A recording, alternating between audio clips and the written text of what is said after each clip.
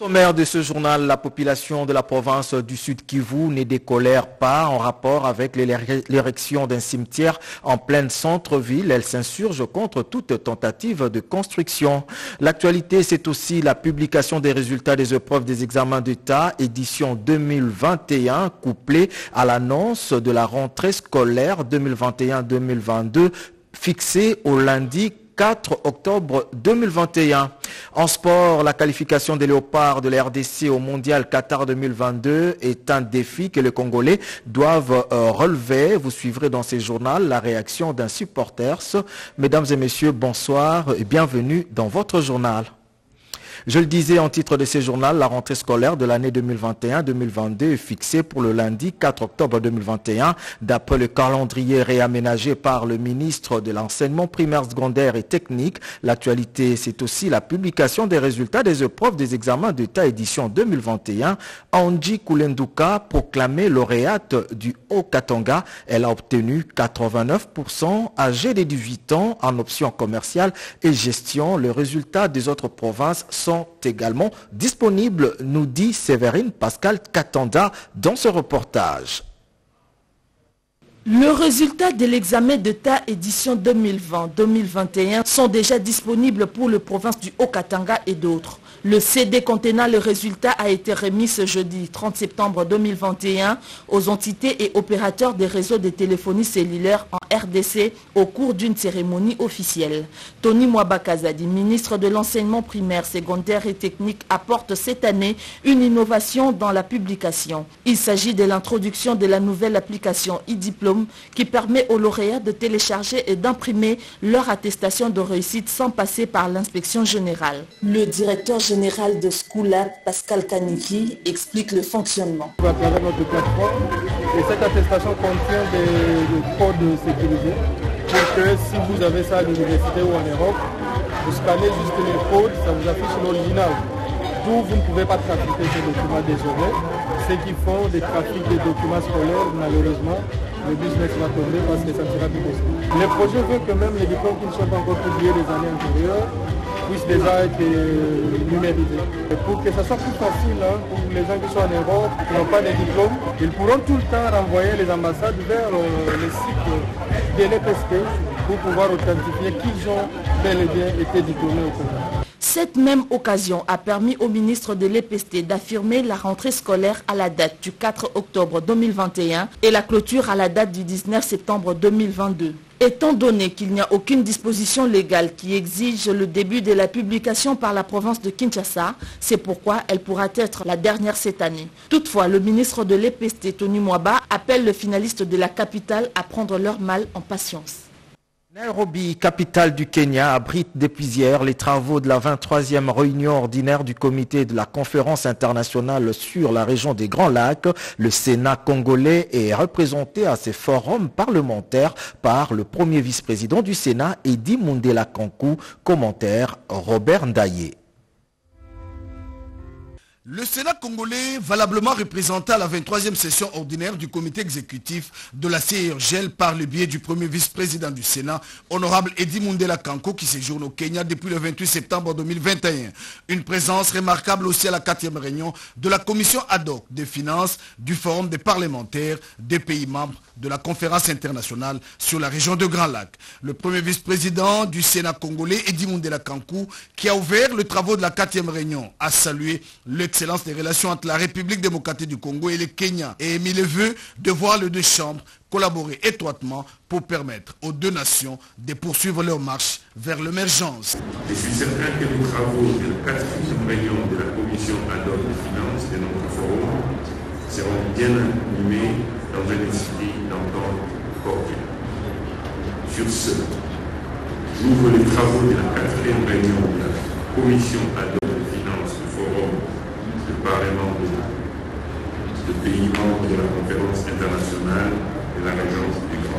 À Nairobi, Margara Kamara, vice-présidente du Sénat kenyan, a ouvert ses portes à l'honorable Edi Mundela Kankou. Des échanges très amicaux autour des questions liées au développement de deux pays. Les deux chefs d'État, Félix Antoine Tshisekedi Chilombo et Uhuru Kenyatta, sont engagés sur la voie de développement. Eddie Mundela Kankou a émis le vœu de voir la vice-présidente du Sénat kenyan visiter la République démocratique du Congo et la Chambre haute du Parlement congolais dans le prochain jour. Les travaux de la 23e session ordinaire de la CIRGL se poursuivront jusqu'au 1er octobre 2021 à Nairobi. Et parlons de cette bilatérale RDC-RC, et c'est le ministre provincial du tourisme, Marcel Mokili, euh, qui supervise les travaux en commission entre les administrateurs maires de Brazzaville et quelques bourgmestres de la ville de Kinshasa, ceci dans le but de renforcer la coopération bilatérale entre la République démocratique du Congo et la République sœur euh, du Congo Brazzaville-La Verte. Reportage Lisette Mujinga. Kinshasa, capitale de la République démocratique du Congo, vibre désormais depuis ce mercredi 30 septembre et c'est jusqu'au 2 octobre 2021 au rythme des assises de la 23e Assemblée générale ordinaire de la COPESCO, commission spéciale des coopérations entre Kinshasa et Brazzaville, deux capitales les plus rapprochées du monde. Objectif, promouvoir les échanges commerciaux à travers la reprise du trafic sur le majestueux fleuve Congo entre les deux rives pour l'intérêt des populations sœurs et amies liées par l'histoire et la culture lesquels trafics étaient momentanément interrompus pour des raisons sanitaires dues au Covid-19. Dans son discours d'ouverture de ces travaux, Gentili Ngobilambaka, gouverneur de Kinshasa et président en exercice de la COPESCO, a de prime abord remercié son homologue et frère brazzavillois, Dieudonné Bantimba, vice-président de la COPESCO et sa délégation, avant d'exprimer ses hommages les plus déférents aux deux chefs d'État, Félix-Antoine Tshisekedi Chulombo, de la République démocratique du Congo et son homologue de la République du Congo, Denis Sassou Nguesso, pour leurs efforts inlassables visant le renforcement de relations de coopération bilatérales dans divers secteurs. J'avais inscrit mon mandat sous le site du dynamisme dans le but d'entreprendre des actions d'envergure dans différents secteurs, notamment le commerce transfrontalier, la migration, la sécurité, la culture, l'environnement ainsi que la santé. Signalons que plusieurs personnalités de deux rives ont pris part à cette brève cérémonie inaugurale, parmi lesquelles l'ambassadeur de la République du Congo en République démocratique du Congo, les maires de Kintélé, le membre du bureau exécutif et expert de la COPESCO, dont Madame le secrétaire général Yolande Elébé et son adjoint les Brazzavillois Emma Klech Tipongapi, C'est une radio communautaire qui vient de voir le jour. La radio Mukangi FM va couvrir la commune de Katouba à Baraka dans le sud Kivu, un don du conseiller du chef de l'État au collège socio-culturel. Euh, reportage Cédric Kenina. La communication par la voie des ondes, la radio communautaire Mukangi FM va arroser sur un espace de près de 60 km la commune de Katanga à Baraka, province du Sud Kivu. Un geste du conseiller au collège socioculturel du chef de l'État, maître Jean-Jacques Elakano, dont la cérémonie inaugurale a été présidée par la présidente fédérale de l'UDPS, Ouvira Fizi, Francine Sadiki, qui a appelé par la même occasion la population de ce coin du pays au soutien des actions du chef de l'État Félix-Antoine Tshisekedi. Cet acte posé par le conseiller doit être sauvegardé. Nous vous demandons d'en faire bon usage. Ça fait très longtemps que nous sommes déconnectés des informations du pays. Au-delà de ces actions, nous attendons d'autres du conseiller Jean-Jacques Elakano qui a promis de faire plus que ça.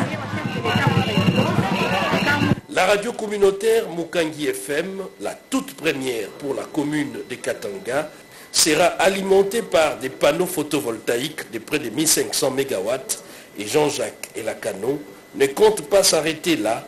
Il annonce la construction d'une salle de spectacle moderne dont la pose de la première pierre a déjà eu lieu. La commune de Katanga dans le sud Kivu. Je le disais, la jeunesse africaine est appelée à participer aux instances des prises de décisions, plaidoyer de la table de décision, une structure de jeunes de l'Union africaine représentée par Madame Iris Nzolantima qui l'a fait savoir au cours d'une conférence de presse tenue aujourd'hui à Kinshasa. Regardez. Cette conférence de presse des représentants de la table des décisions de jeunes de l'Union africaine a été une occasion pour Madame Iris Nzolantima de faire un plaidoyer auprès des personnes de bonne volonté pour un soutien total à la jeunesse qui aujourd'hui est appelée à participer dans les sphères de prise des décisions. Nous essayons de lever les fonds nous-mêmes. Nous avons demandé, sollicité le parrainage du président de la République qui est président en exercice de l'Union africaine, qui a octroyé la participation de tous les jeunes à, toutes les séries d'activités de la table de décision. Nous ne faisons pas un processus de sélection ou des critères pour éviter euh, la discrimination. La première euh, série a eu à avoir la représentation de toutes les parties de jeunesse. Nous avons eu les personnes à mobilité réduite, nous avons eu la communauté euh, aveugle, sourde, muette et malentendante, nous avons eu la représentation des étudiants, la représentation des professionnels, la représentation des personnes sans emploi et la représentation des entrepreneurs qui sont agripreneurs dans le maquillage. Alors notre stratégie pour aller dans toutes les différentes provinces, c'est d'abord de lever les fonds. On a besoin d'accompagnement. Nous faisons appel à toute personne de bonne volonté de nous accompagner afin de reproduire euh, l'activité qu'on a eue à Kinshasa dans toutes les grandes villes de la RDC. Pour elle, l'un des objectifs est d'assurer l'implication constructive de la jeunesse dans le programme de développement de l'Afrique. Le plan d'industrialisation de la RDC présenté aux diplomates nigérians en RDC par le ministre de l'Industrie Julien Paloukou. Mais bien auparavant, le ministre a réceptionné le plaidoyer d'une société minière basée à Walikale pour la production du métal à partir du cassitérite et la réhabilitation de la route Goma-Walikale. Betty Amani nous en dit plus ministre de l'Industrie, Julien Paluku Kaungia, la délégation de la société minière d'exploitation industrielle Alpha Busy Mining, conduite par son directeur général adjoint Albert Kitenge, est venue solliciter l'accompagnement du gouvernement au regard des déficits constatés en énergie électrique et l'inaccessibilité de la route Walikale-Goma pour l'évacuation des produits. Alpha Busy Mining, une société minière basée dans les territoires de Walikale, dans la province du Nord Kivu, exploite la cassitérite en se limitant qu'au concentré d'état, faute d'électricité proportionnelle à l'activité exercée. Si nous, la société Alpha Mine, nous, nous avions pu développer, construire et exploiter la mine en moins de 5 ans, c'est d'abord grâce à son soutien. L'exportation, ça pose un problème parce que nous devons parcourir plus de 1000 km pour atteindre le point d'exportation. Nous sommes dans l'industrie minière. L'industrie minière, ce serait souhaitable que nous puissions aller jusqu'à la production du métal. Par ailleurs, le ministre de l'Industrie a échangé avec l'ambassadeur du Nigeria en République démocratique du Congo sur les plans directeurs d'industrialisation de la RDC. Une boussole qui indique les différentes opportunités pour investir en RDC. Pour les diplomates nigérians, les opérateurs économiques nigérians souhaitent investir dans plusieurs domaines, notamment l'agriculture, les textiles et l'agro-industrie. Cette question, comment amener les décideurs à s'approprier les résultats qui contribuent à une meilleure prise des décisions dans la mise en œuvre de la gestion de l'eau et ressources naturelles Eh bien, c'est l'essence qu'il faut donner à l'atelier national organisé à l'attention des décideurs et parties prenantes du projet GMES et Africa SICOS. Reportage Mamika Dima. GMS Afrique et SICOS sur la gestion de l'eau et les ressources naturelles vise à réveiller la conscience des décideurs et des parties prenantes de l'intérêt et la pertinence des services et produits développés par les consortiums. Il met en exergue les applications pratiques de l'observation de la Terre sur les terrains. C'est là pour permettre aussi la prise de bonnes décisions dans la mise en œuvre des politiques de gestion de l'eau et des ressources naturelles. L'organisation de l'atelier national pour sensibiliser et renforcer les capacités des décideurs de notre pays et des parties prenantes neutres dans l'intérêt et la pertinence des services et produits développés, lesquels démontrent les applications pratiques de l'observation. Cet atelier national donne une occasion aux décideurs de s'approprier les résultats devant contribuer à une meilleure prise de décision dans la mise en œuvre de la politique de la gestion de l'eau et des ressources naturelles du pays. Les représentants du vice-ministre ministre de l'Environnement, Développement durable, celui du programme GMS Afrique, de la SNEL et la SICOS ont pris part à cet atelier. C'est depuis octobre 2018 que le programme GMS Afrique a été lancé. Il sera clôturé en décembre 2021. Le représentant des SICOS a rappelé à l'assistance que la deuxième phase du programme va démarrer après la clôture de cette première phase. Et bientôt des parkings modernes des véhicules dans la ville-province Kinshasa, le ministre provincial des Transports Amos Mbokoso a procédé aujourd'hui à la pose de la première pierre de construction de ces parkings. C'était à la 7e rue. Nous sommes là dans la commune de Limete. C'est un commentaire de Joël Makela.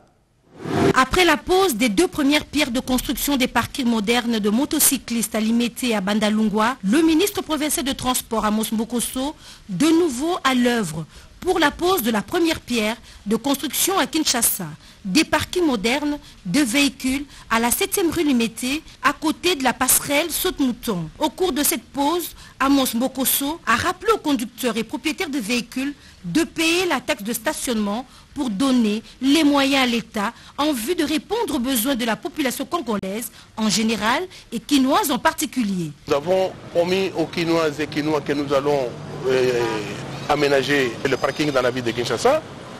Voilà, c'est la continuité que nous sommes en train de faire. Nous allons construire ce pays avec nos efforts. Aujourd'hui, ça se concrétise et nous avons des partenaires également qui nous accompagnent dans cette vision du gouverneur de la ville de Kinshasa. Ces parkings seront construits à travers toute l'étendue de la ville de Kinshasa, a affirmé le ministre provincial de Transport, Amos Mbokoso. L'agriculture reste le moteur de développement d'une nation. À l'heure où les États généraux de l'agriculture viennent de fermer leurs portes, les agriculteurs et fermiers militent pour la création d'une coopérative. Regardez.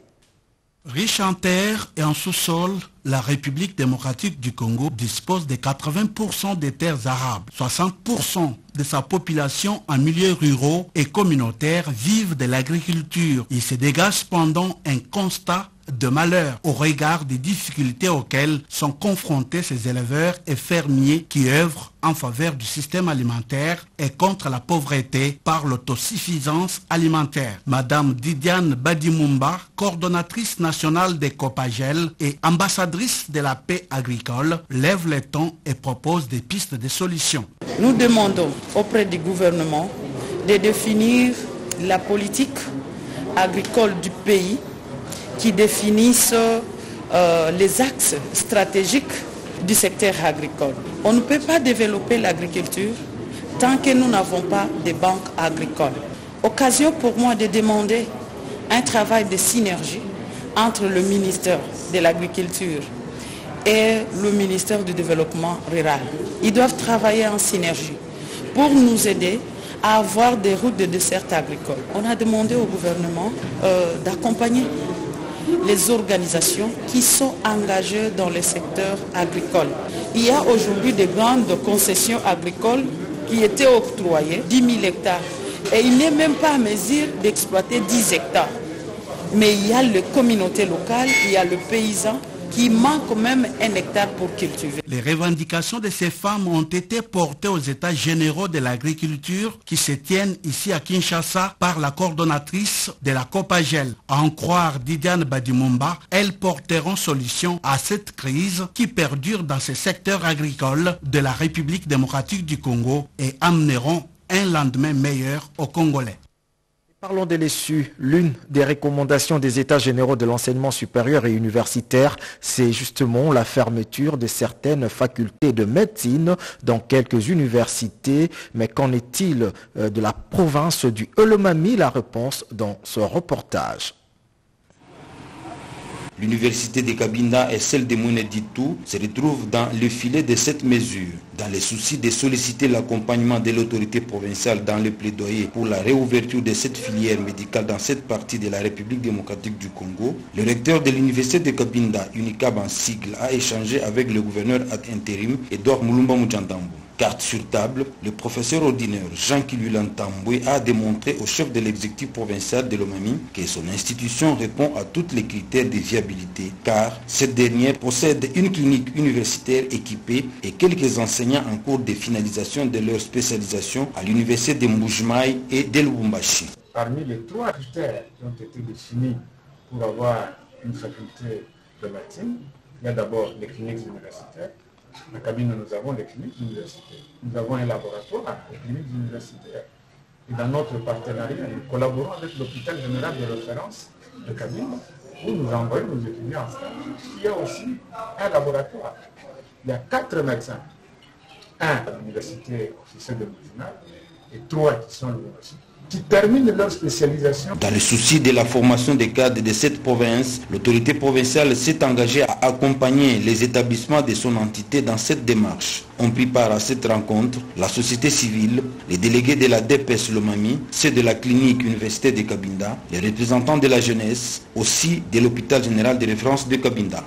C'est un message de réconfort et d'unité que le directeur technique de l'Institut national de préparation professionnelle qui séjourne dans la province du Lualaba, qui a également visité le site où sera érigé un grand centre de formation INPP. Commentaire Betty Amani.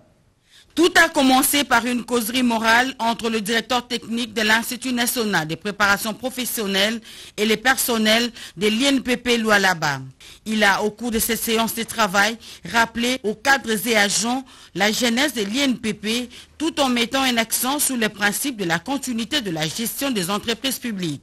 Selon Paul Badikila Kongolo, les hommes passent et les institutions restent. C'est pourquoi l'amour du travail doit être démise. Le directeur Paul Badikila Kongolo a cependant invité tous les personnels à l'unité pour soutenir Joseph Kangoudi, nouveau directeur général intérimaire de cette institution. À cette réunion, le directeur provincial Joseph Kangoudi a convié son hôte à la visite du site où il sera érigé un grand centre de formation de l'INPP. Des efforts sont consentis par la nouvelle équipe dirigeante de cette institution pour répondre à la vision du Patrick Kayembe Sumpi. C'est un site vraiment vaste avec nos partenaires chinois. nous pensons que nous aurons à ériger un centre de formation ultra moderne à Luanaba où il y aura donc des salles de cours, tout ce qu'il faut pour que l'apprenant puisse se sentir. Après les lois là-bas, Paul Badikila Kongolo se rendra dans d'autres provinces, notamment au Congo central, toujours dans le cadre de la redynamisation de l'administration de l'INPP. Et je le disais en titre cap dans la province du Sud Kivu où l'érection d'un cimetière en plein centre-ville provoque la colère de la population qui s'insurge contre toute tentative de l'ouverture d'un tel chantier. Regardez.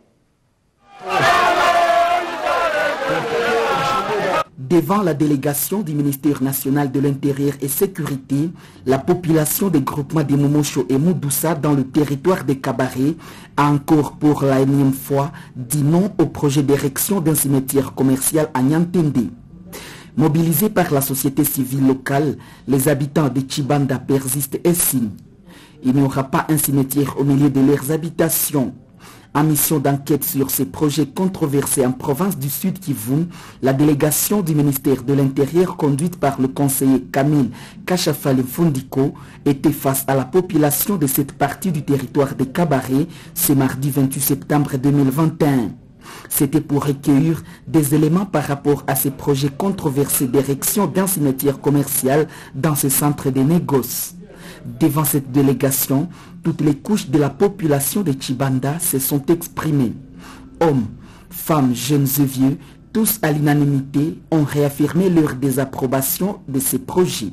Tous demandent à l'initiateur d'échanger le projet car le cimetière public existe déjà dans cette contrée depuis le lotissement de 2008. Secteur de Kolokoso dans la province du Kwango baigne dans les travaux communautaires de cantonnage manuel. Le gouverneur de province Jean-Marie Petit-Petit a procédé dernièrement au lancement des travaux. C'est peu avant son retour à Kenge pour la prise d'armes à la police nationale congolaise. Reportage Félix Zaloumeti Dandou. Le reveneur du Congo en visite d'itinérance à Kolokoso, Jean-Marie Petit-Petit, avait avec lui du matériel pour le revêtement de certains ouvrages sociaux de base. Il a pu parcourir 10 groupements sur les 11 qui comptent le secteur de Kolokoso. Que d'ovations ça et là, empreinte d'un accueil, d'un frère, d'un ami et d'une retrouvaille. Cette adhésion populaire lui a offert du temps de lancer un message de soutien à l'union sacrée de la nation, car son initiateur, dira-t-il, prône une vision noble de développement intégral de la République démocratique du Congo. Ce fils d'école Koso a saisi cette visite d'itinérance pour lancer aussi les travaux communautaires des cantonnages manuels du tronçon Kikongo-Iwasa avec la technique de la haute intensité de la main-d'œuvre locale, IMO, de la direction des recettes agricoles VDA. Il a pris également à bras les corps la prise en charge de quelques malades par ici et par là dans son itinérance. À ces actions s'ajoute la remise de matériel de construction et d'équipements de sport. Des retours à Kenge, Jean-Marie Petit-Petit a vite fait de prise de la prise d'armes de reconnaissance des grades éléments de la police nationale congolaise, PNC, promis dernièrement au grade supérieur. C'était visiblement la grande satisfaction de heureux promis en l'honneur au chef-lieu de la province du Congo. a été renvoyé euh, au 11 novembre prochain en cause, la réouverture de la société d'exploitation Kipoy Sec de Lubumbashi dans le Haut-Katanga. Le procès oppose cette société à une entreprise minière. Reportage Guilhem Mukunga et Nono Mantsekou. Chef de l'État Félix Antoine Tshisekedi Chilombo met l'homme au centre du développement des luttes dans l'amélioration des conditions sociales de la population, des combats contre la pauvreté et le chômage, certaines personnes trouvent du plaisir à piétiner cet effort de la restauration humaine au centre de l'action du président de la République à travers les mots d'ordre les peuples d'abord. L'entreprise d'exploitation des Kipoy attendait sec est aujourd'hui liquidée et fermée illégalement à la suite d'un conflit l'opposant à une autre entreprise minière au Katanga. La fermeture de la mine d'Ekipoy qui contribue au développement communautaire des zones minières aura pour conséquence non seulement le chômage de près de 1000 travailleurs, mais aussi la paralysie de toutes les activités autour de la mine. Le collectif des agents de la SEC appelle ainsi les autorités politico-judiciaires à s'impliquer pour la réouverture de l'entreprise. Nous avons été pendant tout ce temps la seule entreprise qui donnait chaque mois la redevance minière. Avec cet argent-là, le chef de secteur a pu construire une école moderne du côté là de Lukutwe. Euh, le chef de secteur a réhabilité des routes, des routes de désert agricoles. La société a fait beaucoup de choses. J'ai demandé au chef de l'État, euh, lui qui a instauré l'état de, droit, nous voulons vraiment que cet état de droit soit bien appliqué par la justice. L'état de droit doit être lu, et doit être compris dans ce sens que celui qui a raison ait effectivement raison. Le procès entre la SEC et son adversaire a été transféré à Kinshasa au tribunal de Matete pour ce jeudi 30 septembre 2021. Mais l'affaire est de nouveau renvoyée au 11 novembre prochain au grand mécontentement des agents de la SEC qui dénoncent les manœuvres dilatoires de la partie adverse. Et si vous êtes fanatique euh, du football, la qualification des Léopards de la RDC au Mondial Qatar 2022 est un défi que les Congolais doivent relever. Le président d'Alésie, les Léopards, Yassante Moulongoy, s'exprime euh, au micro de Luxon Kabbalah. Nous avons un défi, un défi de faire qualifier notre équipe nationale à la Coupe du Monde. Nous allons jouer contre Madagascar alors nous sommes obligés de battre Madagascar, c'est notre défi. Que ce soit à Lubumbashi, que ce soit à Kindu, que ce soit à Bandundu, que ce soit à Kinshasa, cette fois, je vous dis sincèrement, euh, le Madagascar sera bâti par les léopards de la RDC. Pour nous, Congolais, il faut que nous soyons ensemble, et se concentrer, et oublions nos divergences. Les léopards est là. Et léopards va gagner ce match contre Madagascar. Vous voulez et vous ne voulez pas. Notre ministre des Sports, c'est un ministre qui a un état d'esprit. Il opère avec tout le monde, avec cet esprit euh, d'ouverture. Euh, je suis derrière notre ministre. Les supporters, les animateurs, ce sont les 12e joueurs. Ailleurs, il y a les supporters qui entrent dans le stade. Par exemple, nous avons joué contre le Bénin. Il y avait les supporters. Ces supporters sont entrés. Donc les, les animateurs qui animaient dès le la première minute jusqu'à la dernière minute. Mais quant à nous maintenant, on n'est pas d'accord de faire entrer nos supporters. Et pourquoi cela? Pourquoi refuser de faire entrer nos supporters ici au Congo? Mais ailleurs, les supporters entrent au stade pour euh, accompagner leurs équipes on termine ce journal par ce reportage. La paix, toujours la paix, on n'en parlera jamais assez. La jeunesse de l'église du Christ au Congo a organisé un atelier sur les bonnes manières pour cimenter la paix dans la communauté congolaise. Regardez. L'Église du Christ au Congo, ECC, consacre chaque année un moment de conscientisation de sa jeunesse, œuvrée et désœuvrée. L'encadrement de cette jeunesse est basé sur l'intériorisation des valeurs chrétiennes et morales. Faire preuve de bonne moralité pour l'établissement d'une société juste où règne la paix. C'est le leitmotiv de cette organisation impulsé par le président national de l'ECC, le révérend docteur André Bokundo à Gédéon, qui accorde une attention particulière à la jeunesse à venir de demain et qui fait sienne la vision du chef de l'État, Félix-Antoine Tshisekedi Chilombo, à la place qu'occupe l'encadrement de la jeunesse. Placé cette année sous le thème « Oui, avec Dieu, nous pouvons », l'encadreur des jeunes de l'ECC fixe l'opinion en ces termes. Travailler encore pour consolider la paix l'unité, l'avancement de notre Église, la cohésion de notre Église. La jeunesse protestante, c'est une jeunesse nationale et universelle, internationale, qui travaille non pas pour euh, les intérêts ethniques, tribales, mais nous travaillons pour les intérêts des générales des intérêts de la nation. Cette célébration sera organisée cette année à Boulungu, province du Kwilu le territoire de Mwanda dans la province ecclésiastique du Congo central a abrité la célébration analogue l'année passée. Le rappel des titres, vous avez suivi dans ce journal la population de la province du Sud Kivu qui ne décolère pas en rapport avec l'érection d'un cimetière en plein ville. Elle s'insurge contre toute tentative de construction. Et l'actualité, c'est aussi la publication des résultats des épreuves des examens d'État édition 2021 couplée à l'annonce de la rentrée scolaire 2021-2022 fixée au lundi 4 octobre prochain. Et vous avez suivi également en sport la qualification des Léopards de l'RDC au Mondial Qatar 2022 qui est un défi que les Congolais doivent relever. Mesdames et messieurs, c'est par cette note que nous bouclons complètement ce journal. Merci de l'avoir suivi. Prochain rendez-vous avec l'actualité, c'est tout à l'heure à 20h dans une présentation de Sandra Nyangui Tabou. D'ici là, portez-vous bien et très bon suivi du programme. Au revoir.